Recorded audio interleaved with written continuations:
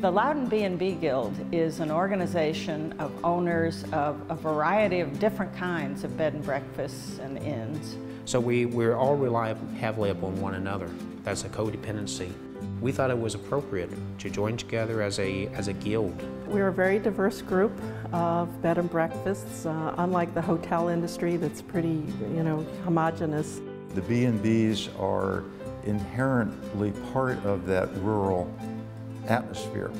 And I think that people need a place to go and, and get away from the city and, and the high-tech environments and so forth. And what makes it different, I think most of all, is the type of people that are still here. They're people that live rurally because they like the rural atmosphere. They enjoy one another, they enjoy community.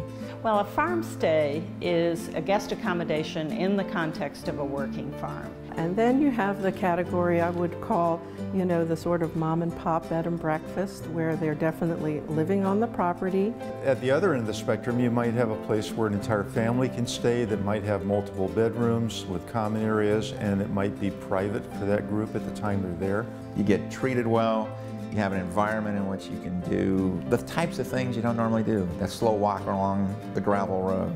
Coming to a B&B, you really get to feel the culture, you get to feel what the area is really about. They need that to be able to unwind. They need to be able to relax. There's no rush, there's no get up and go, next customer. There's no agenda.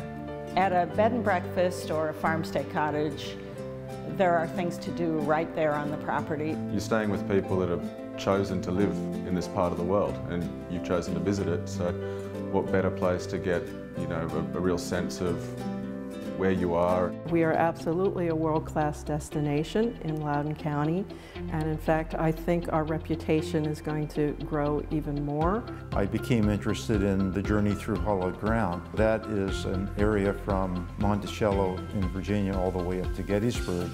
This area is rich in Civil War history. You're looking at the museums in the area, be it the Railroad Museum over in Brunswick, Maryland, or you're looking at the Udvar Hazy Air and Space Museum at, at Dulles Airport. We have lots of events that take place. Uh, from all the horse and equestrian events to things like the Waterford Fair that's every fall, uh, to the Epicurience event that happened on Labor Day. There's also a lot of activities to do around here. There's a lot of horseback riding.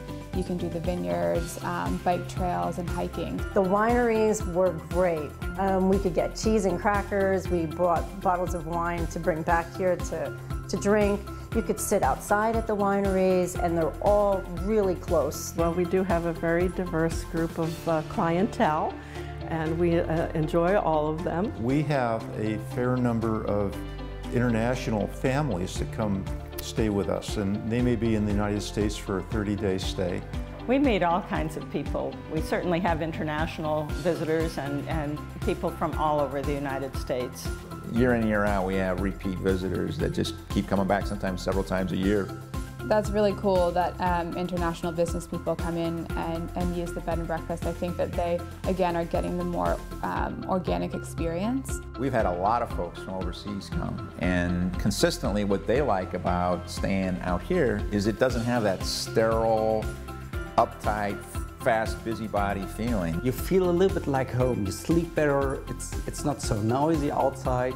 It's like a little bit like a family, so with the breakfast in the morning. Why stay at a hotel in the Dulles uh, area when you can spend the same amount or less and be in a beautiful rural setting and yet still have all the amenities that you would have at the hotel. That's what I need, a good rest, and that's definitely better here than inside a hotel close to the airport. It's a great, great way to do business.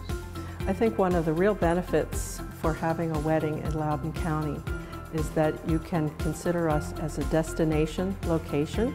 Certainly there's the opportunity to support very, very large weddings here. But likewise, those smaller weddings or the in-between, there's a vibe about that. There's a beauty and a magic about that. Probably more than anything else, it's the joy of seeing people come to our place where we work very hard and having a wonderful time there.